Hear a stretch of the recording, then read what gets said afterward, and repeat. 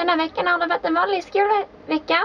Eh, måndags, tisdags, helt normala dagar. Skola fyra timmar, sen var det hem.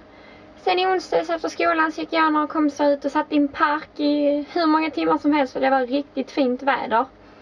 Eh, sen i torsdags så var jag och en kompis ner och fixade reentry-visa så vi kom in i Japan igen efter vi har varit iväg på våra resor. Jag åker ju iväg till Korea nu eh, på söndag.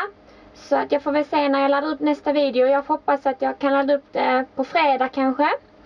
Ja, och sen i fredags så var jag eh, hemma hos en kompis, jag och några kompisar och provade på peruker och vi hade jättekul, vi sminkade oss och sen blev vi fotograferade av min kompis för att hon behövde öva sig lite tyckte hon. Uh, ja, så att bilderna kommer väl ut på Facebook snart tror jag.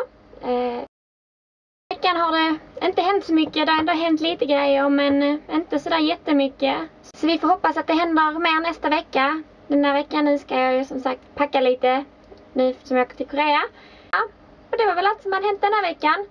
Eh, passa på att gratta min syster som fyller 19 idag. Eh, söndag då. Eh, jag vet inte riktigt när jag laddar upp den här men idag söndag fyller hon 19 år. Eh, så grattis. Ja, och det var väl allt. Hej då.